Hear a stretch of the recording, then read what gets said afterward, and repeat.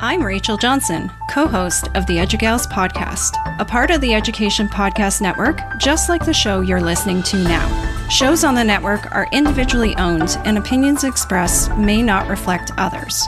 Find other interesting education podcasts at edupodcastnetwork.com. Hey, welcome back. Steve here. And today I'm talking with Joe Reimann, PhD. He is the president of the Group for Immigrant Resettlement and Assessment, or GIRA.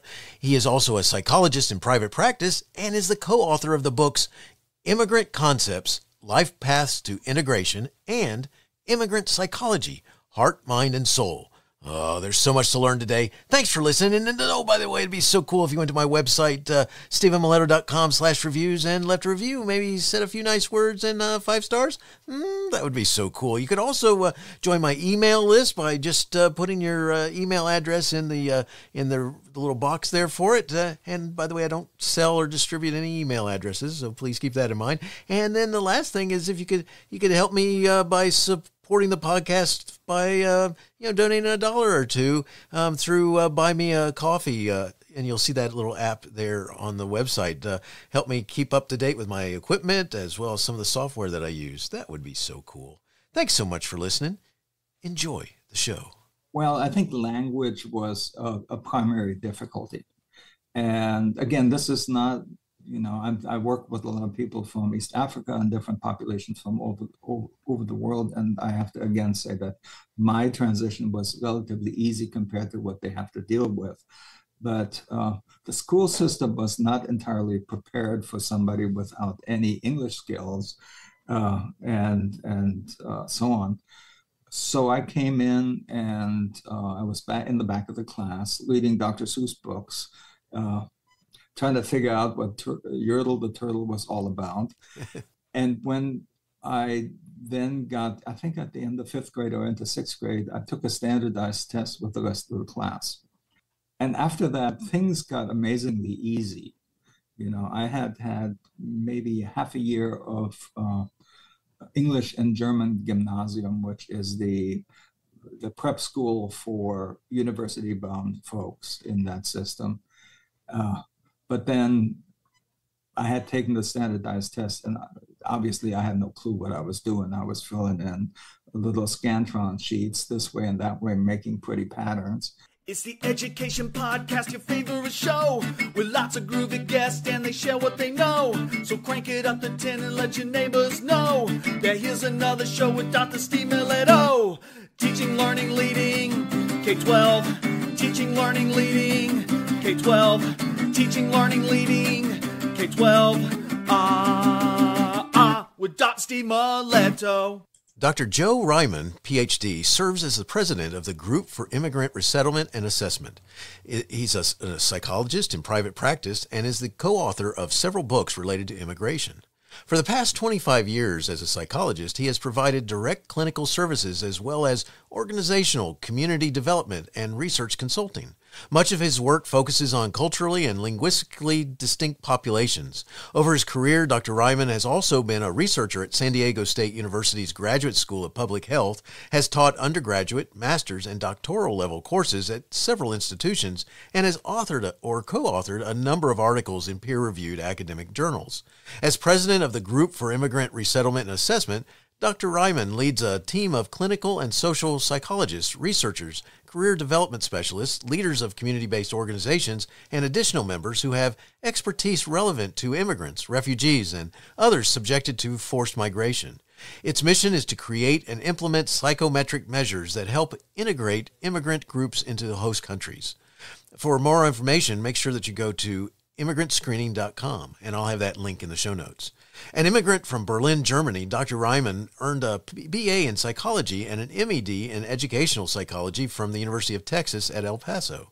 He then earned an MA and PhD in clinical psychology from the California School of Professional Psychology, now Alliant International University. He resides with his wife, Dr. Dolores I. Rodriguez Reimann, who is co author of their books Immigrant Concepts Life Paths to Integration and the book Immigrant Psychology Heart, Mind, and Soul. They live in Chula Vista, California. Joe, thanks so much for being on the show and say hi to everyone. Hello. I appreciate being on for the opportunity to meet with you and talk to your audience. Well, great to have you here. And uh, uh, let's start with this. You came to the U.S. at age 10 by way of Berlin and have lived near the U.S. Mexico border most of your adult life. Can you talk about what the transition was like? I mean, as a 10 year old and um, coming to the United States? When uh, kids, certainly I and other kids that I knew, think thought of the United States at the time, we were thinking of the New York skyline. Uh, you know, we were thinking of big cars with hot tail fins. Nice. And so it was a, you know, there was a an anticipation that things were going to be wonderful.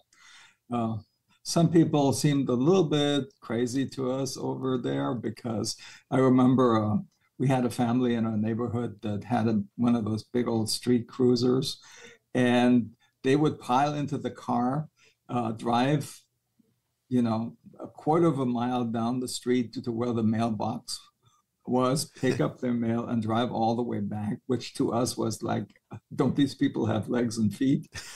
but all in all, our, our uh, perception of the United States was very positive. And so then uh, we made the trip. Uh, we were pretty lucky because my, unlike a lot of people I work with, uh, my family was essentially imported to the United States because my father had certain expertise as an academic in electron microscopy. And so he was brought in based on his skill. Uh, so, you know, it compared to folks that I see on a regular basis, the transition was relatively easy. Uh, especially since as a little kid, you're basically a little sponge that that is able to absorb all kinds of new information in a way that maybe us older folks can't, or at least have a harder time with. But uh, it was all positive from from that perspective. My my first night in the United States was watching TV in a hotel room in LA. Uh, watching Have Gun Will Travel and Gunsmoke. Nice. And not understanding a word, but having fun anyway. So that was the start of things. That's awesome. That's that's really cool. The uh, uh, so as you're transitioning from um, at ten years old and getting a little bit older and so forth, what was one of the most difficult parts of making the U.S. your home? Well, I think language was a, a primary difficulty.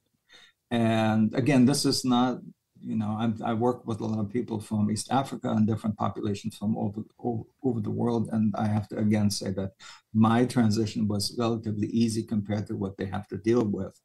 But uh, the school system was not entirely prepared for somebody without any English skills uh, and, and uh, so on so I came in and uh, I was back in the back of the class reading Dr. Seuss books uh, trying to figure out what tur- Yertle the turtle was all about, and uh, you know the and when I then got, I think at the end of fifth grade or into sixth grade, I took a standardized test with the rest of the class.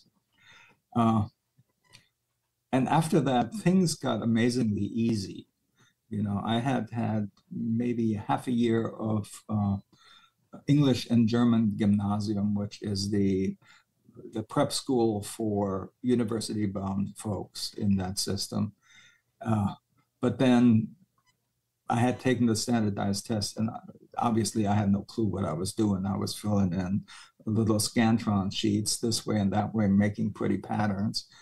Uh, but then uh, my easy time in school didn't last because my parents came back from uh, open house aghast because these highly academic and educated folks had a son who was in quote adjustment classes unquote which was a polite a way of saying i was in classes that were not for the the biggest and brightest kids on the world in the world. Uh, so i had to take a bunch of courses over again and then by the time high school came around i was in advanced but it was a little bit of a transition in the process Gotcha. That's uh, you know, it. Uh, I can only imagine because uh, we're going to talk, like you've uh, um, referenced a couple of times, to some people who have a slightly different experience, but at the same time, it's still your your own transition. I mean, I, I know uh, um, when I was in uh, college and and well, actually going back to high school as well, um, had opportunities, neat opportunities to um, become friends with uh, students who were on uh, exchange programs from Germany, and uh, it was really cool because I that's I I always wish that I had gone beyond college and been able to travel some because my my life took me different directions, but um, I'd spent a lot of time uh, with uh, um, learning um, German in high school and uh, and in in college, and wanted to take it the next step. So I that's how I got access to then being able to connect with um, people who became uh, my friends who were um, in, in, exchange programs. And anyway, the point is, is that it was one of the things that it taught me about a, lot about was the differences in the the, the, the type of English that uh, they spoke a lot of times versus the the way we spoke and it was always kind of interesting and i can only imagine how that could cause some issues sometimes especially as you got older and you might throw out a word or two that, uh, um, and my my favorite one was my one friend who uh, who was talking about asking where we dwelled, um, and we were kind of like dwelled, and and I've always thought about that how as as his English was progressing and so forth, but there was still that high level of the language that he was learning where we weren't using words like dwelled. And uh, and did you run into into things like that, or were you too young as the you're making that transition? Well, in my uh, brief experience in German English classes, uh, I learned a little thing about the frog in the well, and uh, my body flies over the ocean, and words like satchel, which I have to admit I don't use every day in the States. So it was a very British English uh, scenario. And but again, at 10 years old, I actually hear the word satchel every once in a while. I say, oh, yeah, I remember that. but it, it, wasn't a good preparation for the American style of English. Gotcha. That's uh, it, it's, it's just it's just funny because I always think about uh, what I was learning, and a good thing that I, you know, where that's when I was having, you know, someone talking to me about dwelling and other types of words, I was thinking about, so what are they hearing out of my mouth? yeah. um, but uh, um, I appreciate you going down that that lane for a minute. the uh, you know, you've helped you know many immigrants, um, including ones fleeing war torn countries. What drove you to make this your calling? It was not actually.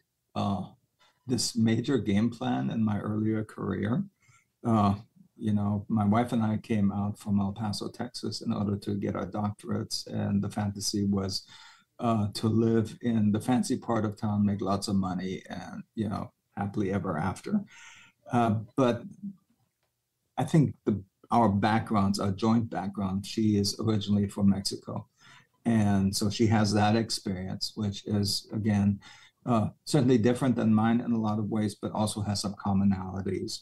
Uh, we kept seeing what was going on in the world and where the need was in terms of uh, psychological services and research and so on. And, uh, you know, what the atmosphere honestly was at certain times in schools uh, when it came to the Mexican American student population. Uh, and we said, okay, this is an area that we have lived experience in, that we're also learning about academically and, and clinically. And this is where a need is. And it's, it's kind of interesting because for me, different population, different parts of the world were always uh, fascinating uh, because it was a it was a nice place to learn things. And so then we fell into the the process when we were at San Diego State University together of doing a couple of needs assessments. One was after shortly after 9/11 for the local Middle Eastern East African population, and then another one was uh, for a, a, mostly rural and Latin American population uh, county here next to San Diego County in the Imperial Valley. So all of those things combined and just kind of one thing fell on top of another one and we were doing some contract work for survivors of torture international for a while. And so we found a home in that arena uh, you know the saying is life happens when you make other plans you know? And so in some ways that happened with us but i have no regrets. Uh, we are where we're supposed to be and so i'm good with that that's cool. Very cool. They, you know, our, our focus today is uh, are your two books written by you and your wife, Dolores. Um, one book is Immigrant Concepts: Life Paths to Im- Integration, and the other one is Immigrant Psychology: Heart, Mind, and Soul. What's the main focus of these two books? Uh, and why'd you guys write them?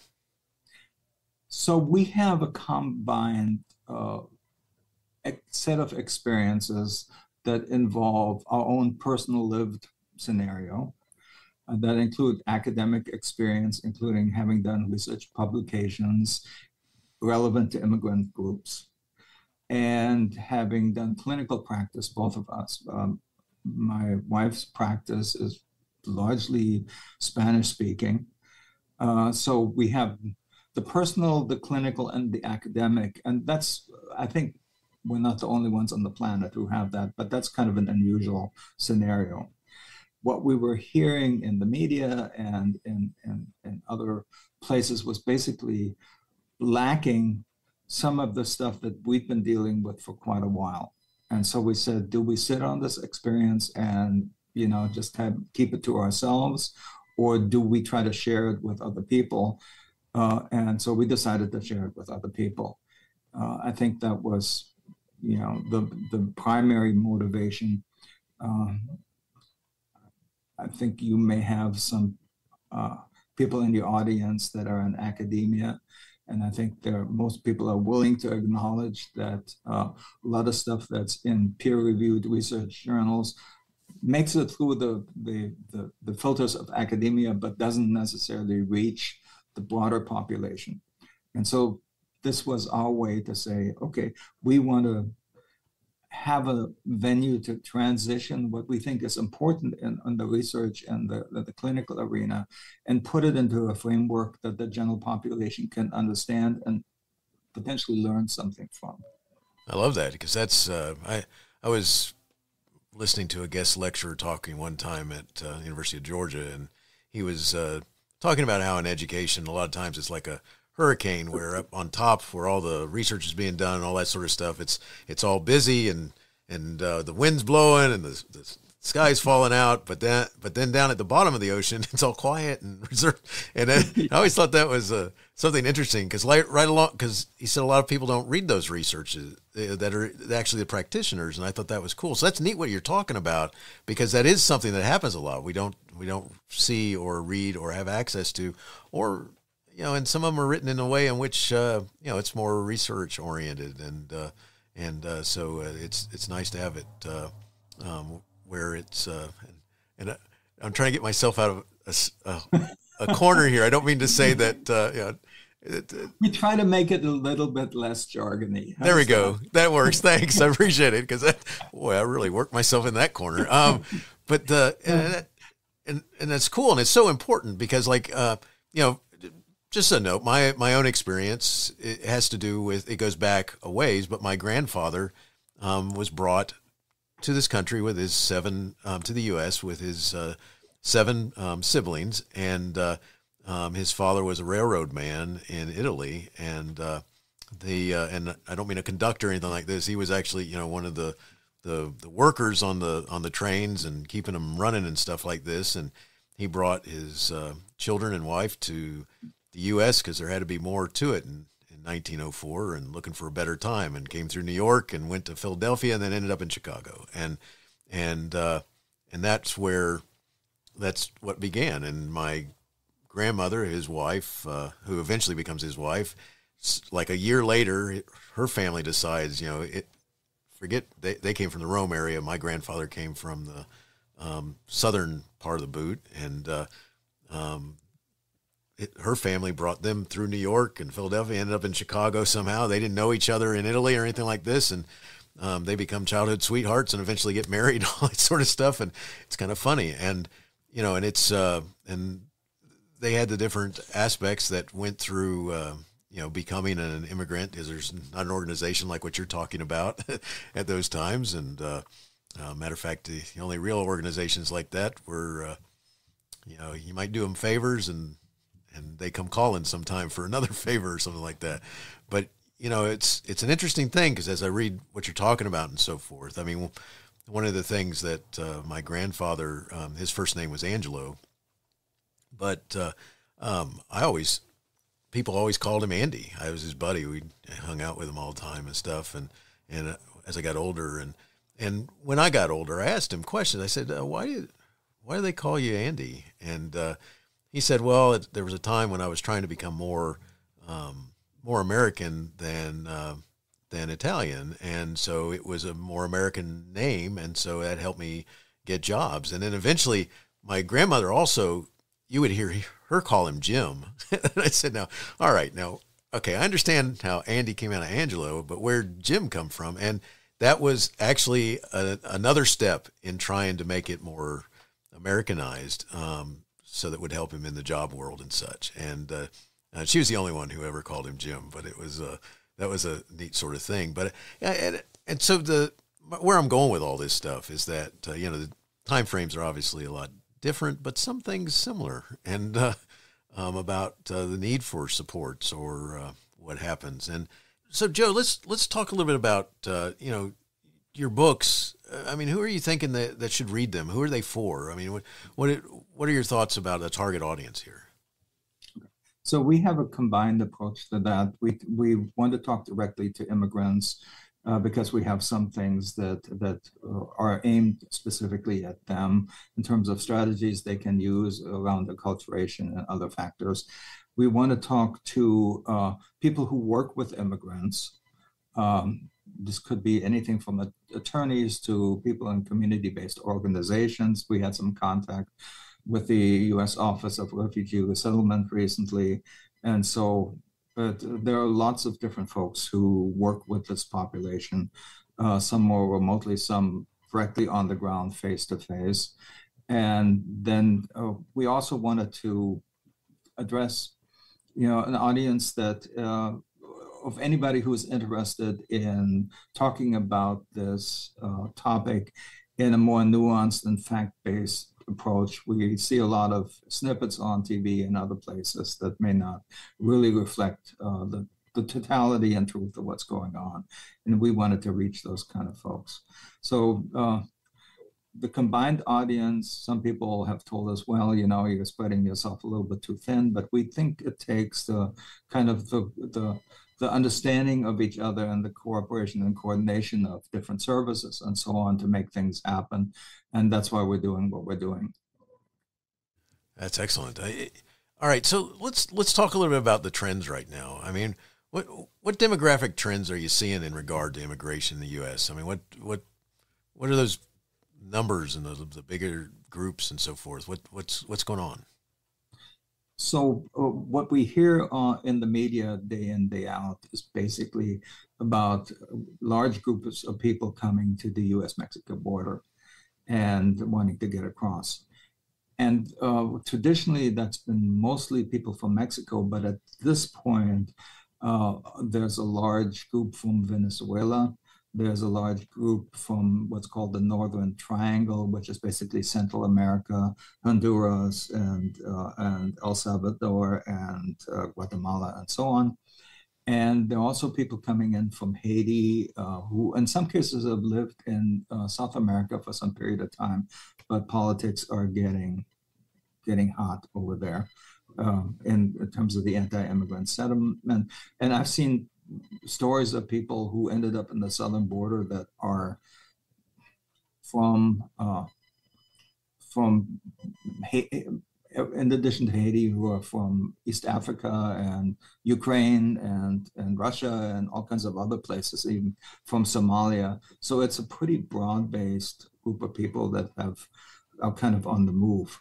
Uh, the other part of the equation is uh, in Europe, uh, there's a lo- fairly large trend of people coming from North Africa to uh, France to Germany, uh, trying to get through Greece and so on.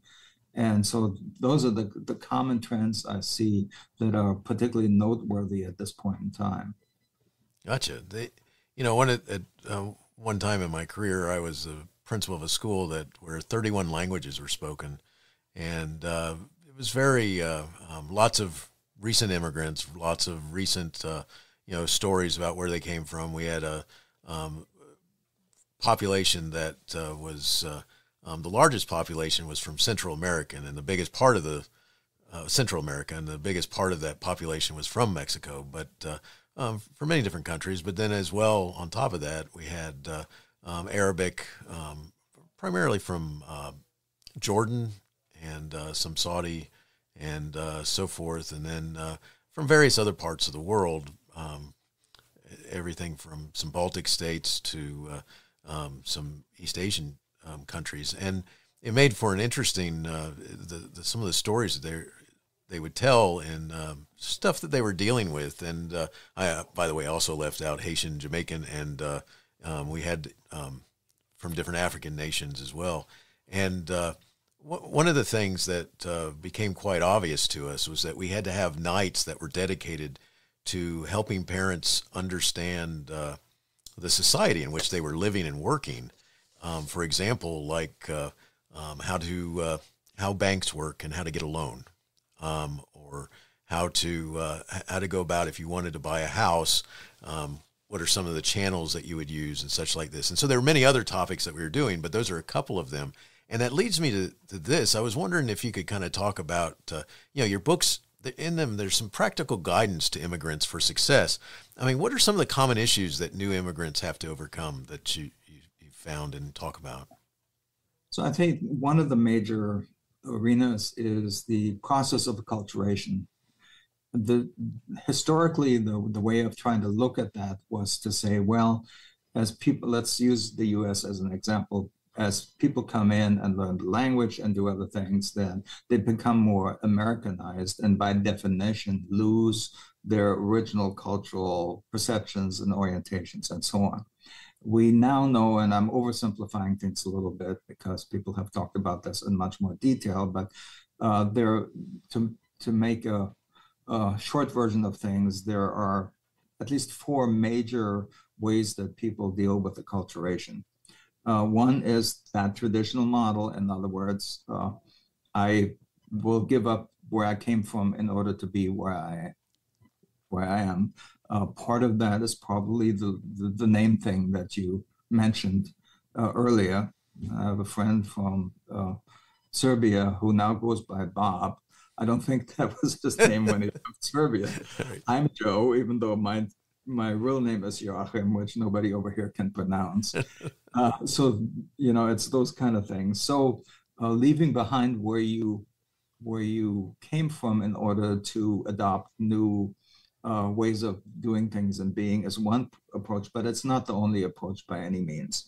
Uh, another approach is to be bicultural, which means basically that you don't necessarily have to give up who you are at a core in terms of your personal identity, in terms of your ethnic identity, and so on, but you do learn the sort of the rules of the road. In other words, you learn the language, you learn uh, how to negotiate the bank systems and the healthcare systems and all kinds of things like that that you mentioned. And so you're competent basically in in both arenas, both in terms of where you came from and where you're uh, where you are now. Uh, some people do not do that. They they they don't really acculturate in the way we think about it. They don't learn the new language, and that's a choice. I'm not going to evaluate that choice, but from a practical standpoint, uh, it does limit kind of the opportunities that somebody can engage in that that, that broader society may be able to offer. Uh, and then there are some people who, who come up with something completely different that is some mix of the both cultures, but also has stuff that that neither of the original cultures has. You know, in, in LA and in parts of San Diego and Chula Vista, there's a big lowrider community. Uh, I would think that you're not going to find too many lowriders in Mexico City so you know this is a very much an American Chicano type of thing, and it's it's not part of the original cultures on both ends of the equation. But we're kind of doing our own thing here, and we're good with that. So those are some of the the four major approaches.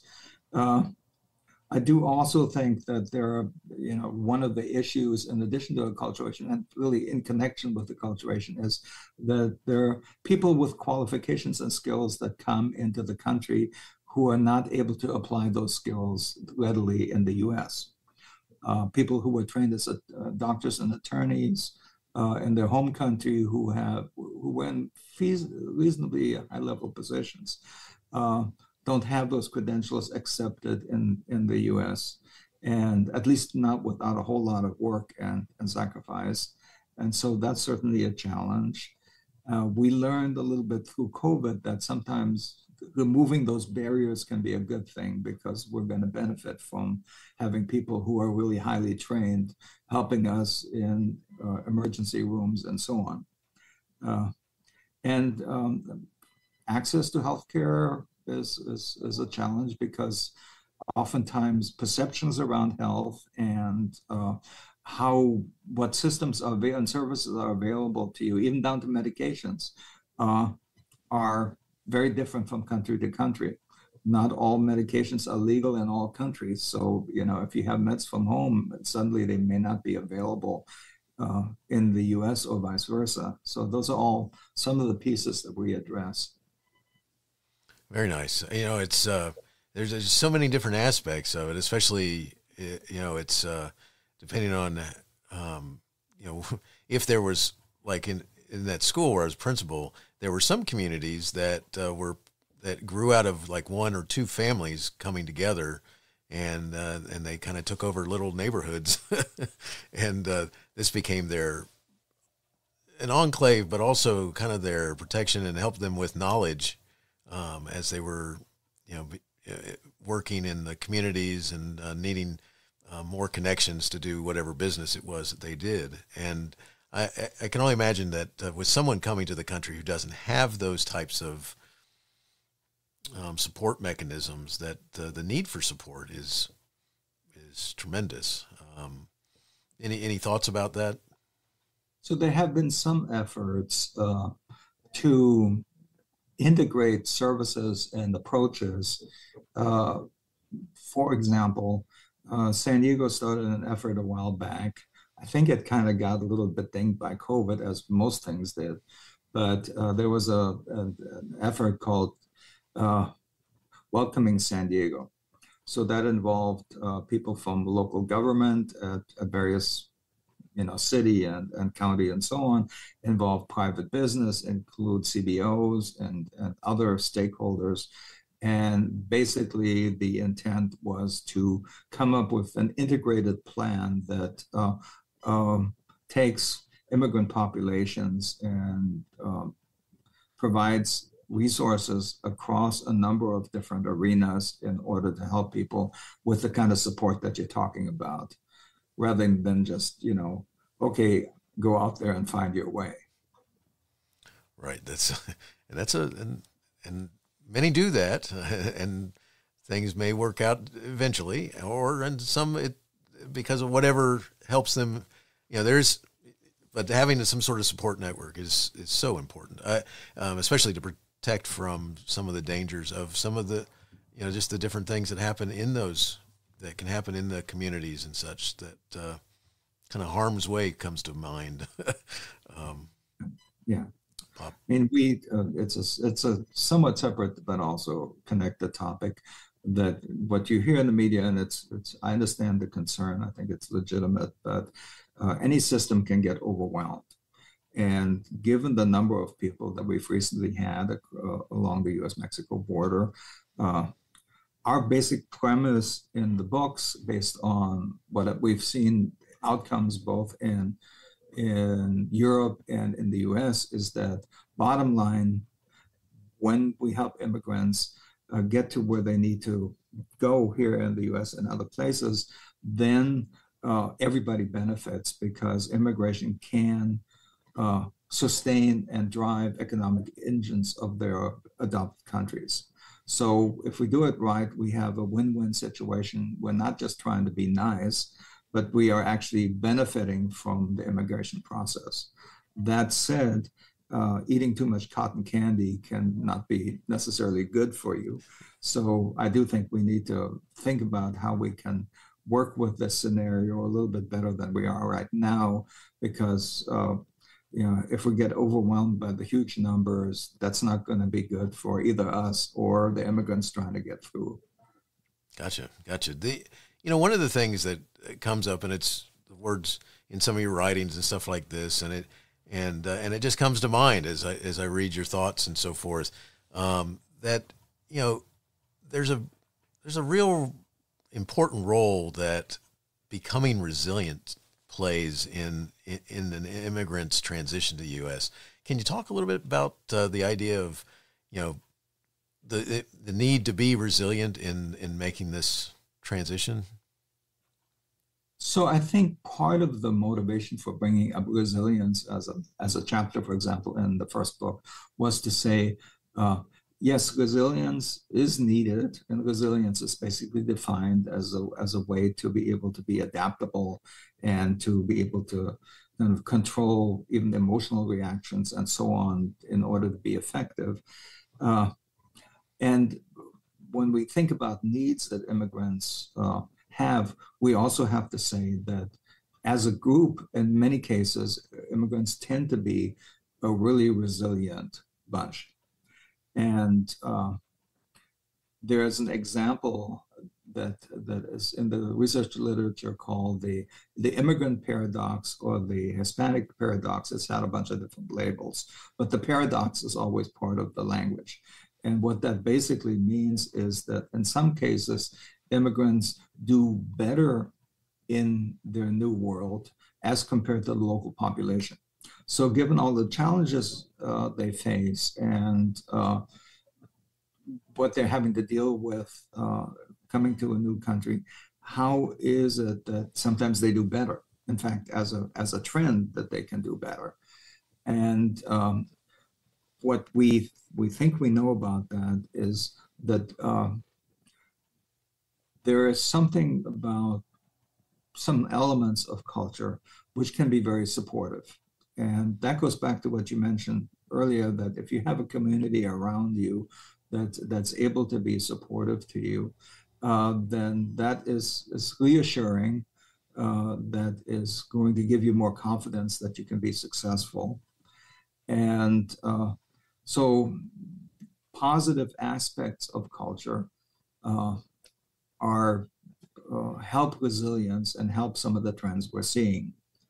And uh, you know, there's just a certain amount of intestinal fortitude that some folks have, because if you look at the journeys that they went through in order to get here, which includes you know tromping through the jungle and something uh, you know, and then in Central America, uh, and something called the Darien Gap, which is about 60 miles of, of no no real roads, lots of mud, lots of snakes, and and all kinds of other stuff.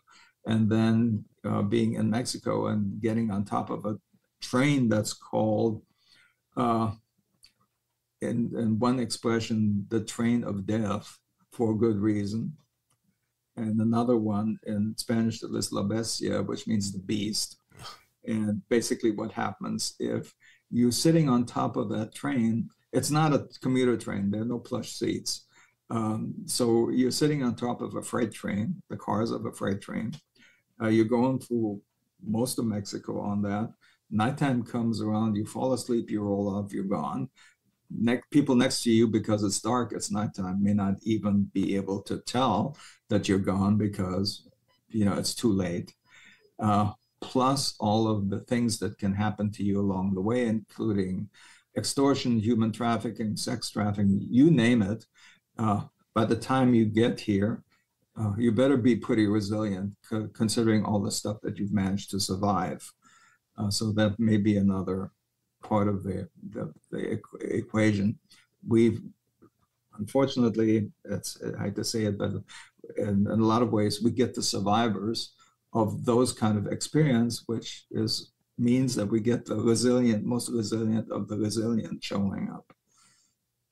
Gotcha. That's uh, you know, those, those journeys, and I can only imagine how some of them have, make it as far as they do, and then uh, and, and, to include some of them who are coming through worn, torn countries where they're avoiding bullets and things like that as well. And you know, it's uh, um, it's quite a incredible journey that does need you to be able to put up with a lot of stuff and overcome it. I only imagine. I, you know, you, you have the uh, um, the group for resettlement and assessment, uh, GIRA.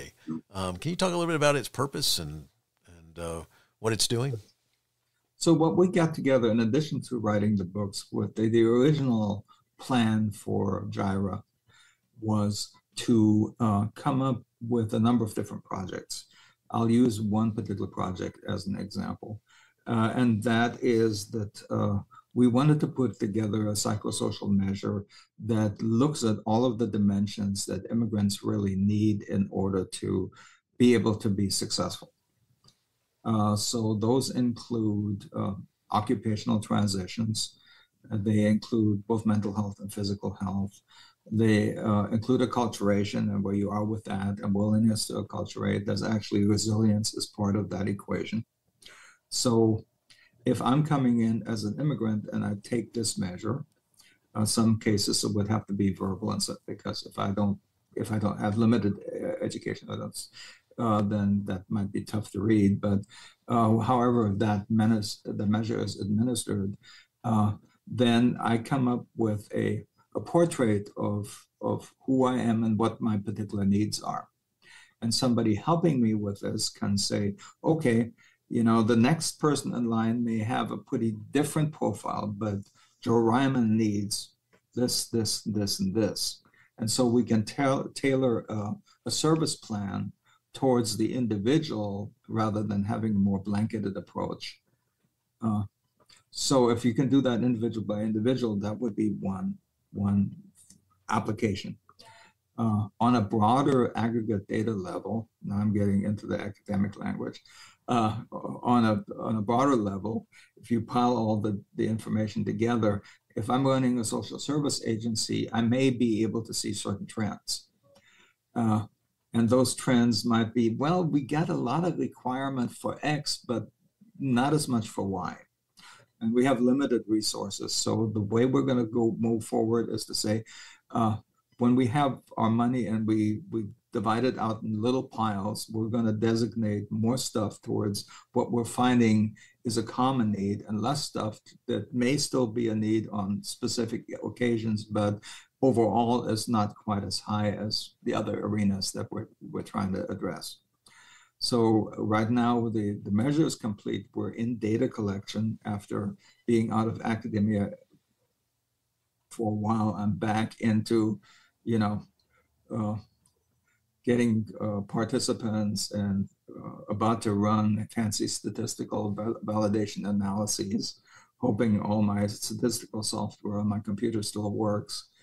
And so uh, we're moving forward with that. Actually, this, this kind of concept has been applied in a bunch of other different situations. Uh, one I can think of is fun facts about my career. I spent eight years working in juvenile hall as a psychologist and later as a program manager for county juvenile forensics here. Uh, the fancy language around working with kids is uh, that that they have quote criminogenic needs. There's a good word for you. And what does that mean in English? It means that we're trying to keep kids from getting into the adult system. So there was something called a risk and resilience inventory that was developed for San Diego County, which does a similar job to what I'm talking about with this measure, in that it identifies what a particular individual requires in order to kind of get organized, get out of the legal tangles that they've gotten themselves into, and does not make it into uh, the adult system, which is much more warehousing than what we do in juvenile hall. Gotcha. It's uh, um, so it, I can only imagine just the different types of stories that uh, you run into um, with the organization as they're as you're doing what you do to to try and figure out, uh, I guess, how to help. Is that the Good way to say it. And uh, good stuff. I, you know, Joe, if someone wanted to follow up and connect with you and or learn more, where would you send them? Well, I uh, they can contact me directly at Joe at Immigrant Screening. Uh, that's probably a good start. Um, depending on the community that they're from, there are certainly uh, local organizations, let's say in San Diego and other places, that will help. Uh, I used to be the board chair for Somali Family Service of San Diego, and they do good work in, in that population. So it, it again, it's it would have to be fairly individualized uh, in terms of what kind of needs they have and and where I would send them. But uh, in terms of treatment, that's another big thing. We recently, well, it's been a couple of years ago, but it's still fairly recent in, in the Somali population.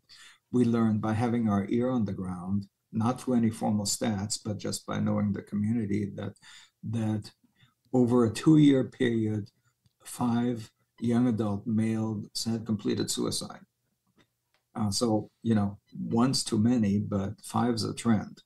Right. And so basically what we did in response to that is that we, we reached out to the community and we said, uh, let us talk a little bit about mental health and how to get services for that. And it's not, it's not as scary as you might think. Nobody's going to call you crazy. Uh, your, your information is going to be kept confidential. So here's what you can expect uh, if you tap into the mental health system. Uh, and then we talk to providers, and occasionally I've still done training for my old employer, county employer, Health and Human Services, and said, okay, uh, if people come to you from various populations, how do you effectively treat those folks? How do you consider culture and the process, and, and so on? And so then you're you're reaching again both sides of the equation because they have to work together in order to be a, you know to to move forward. So connect with local resources and and we just have to go from there. Gotcha. The you know uh, um, we're coming up to uh, the close now, and we're uh, um, I've got a couple of questions I'd like to ask you that are just questions I like to ask my guests, and um, if you don't mind, I'd like to uh, um, to start there. And uh, just the first one I have goes like this How do you overcome feeling like you may want to quit or give up? Uh, I can't afford to quit or give up. you know, uh, there are times when, certainly on the clinical practice piece, you can, you know, it becomes a little bit more challenging because uh, some people have what I call the Popeye syndrome, which is I am what I am. That's all I am. In other words, I'm not going to change no matter what you tell me. Nice. And that can be a little bit frustrating. But then there are also those nuggets where you you understand it's it's different than being able to build a house. If if I'm in construction, I can go by that house for the rest of my life and say, look, I have built that. I don't necessarily always know what happens with my clients but there are times when when I do know, and those are very gratifying, and and so on. Uh, part of our effort was to to working with one person at a time or a family at the time is important. Uh, but part of our effort with GIRA and the books was basically to reach out, try to have a broader impact beyond what one on one. And one on one is certainly important, but it's it's trying to reach a broader audience. So uh, some of that keeps us going. You know, it's a it's a, a thing we have a passion about. Straight out of uh, uh, my doctoral program at San Diego State, I I got a grant, which is unheard of that somebody straight out of school gets a grant, it, and it was at kind of the height of the popularity of cigar use, and it was an important topic because cigars can kill you and uh, laryngeal cancer and you name it. But my problem was that I didn't give a you know what about smoking and cigars. I know I'm not going to do it, but it's not my passion. You know, that topic was just not my thing.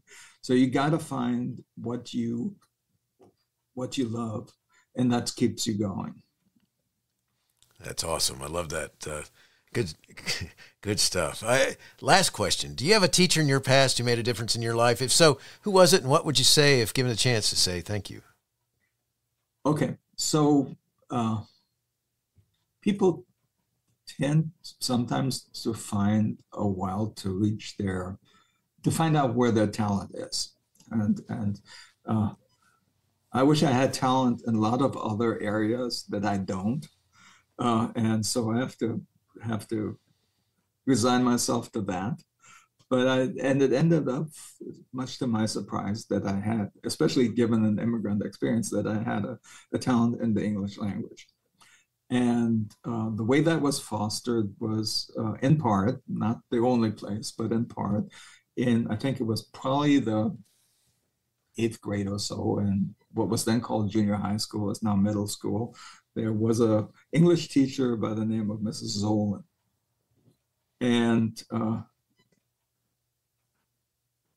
what I remember about her teaching, what I continued to use is that she said, okay, if you want to get a point across in writing, let's say, you tell them what you're going to tell them, then you tell them, and then you tell them what you told them. And that's kind of stuck with me. I tend to be speaking and writing wise, uh, kind of an inductive reasoning type of dude, which basically means I start out over here and there's this fact and there's this fact and there's this fact and there's this fact and I, I tie them all together and this is what it means. Uh, problem with that can be that in certain circumstances, if people get bored and, and I don't get to the point till much later, then I lose the, the audience. so I got to tell them the thesis ends up front. And I still have to remind myself to do that. But uh, I did learn that from her, and I do appreciate the fact that she has, you know, teachers are a little bit like, like uh, psychologists because oftentimes you don't necessarily know what happens to your students over the long run because other than you know we class reunions where only the popular kids show up you, don't really know what happens to your students. And so i would i would if she's still around which i hope she is but i don't know um, that i would like her to know that i do remember her i do remember that and i still use her advice. That's awesome. I love it. Love it. Uh, Joe, thank you so much for sharing your books, Immigrant Concepts, Life Paths to Integration, and Immigrant Psychology, Heart, Mind, and Soul. What timely, important, and practical information you've provided in your books. Wishing you the best in all you do. Thank you. I really appreciate it. Hey, you have been listening to Teaching, Learning, Leading K 12, a podcast to help you help kids achieve their dreams. Teaching, Learning, Leading K 12 is a member of the Education Podcast Network. Podcasts for educators, podcasts by educators. Teaching, Learning, Leading K 12 is a member of the podcast network based in Canada called Voice Ed Radio. Voice Ed Radio, your voice is right here. The opinions expressed on Teaching, Learning, Leading K 12 are those of the guests and host. Teaching, Learning, Leading K 12 is intended to share ideas, advice, and suggestions. Teaching, Learning, Leading K 12 is produced for educational purposes. Hey, thanks for listening. It would be awesome if you visited my website at stevenmiletto.com uh, and connected with me, left a review, and listened to more episodes. And by the way, you could also share it with your friends, with your family, and uh, your colleagues. Thanks so much. You're awesome.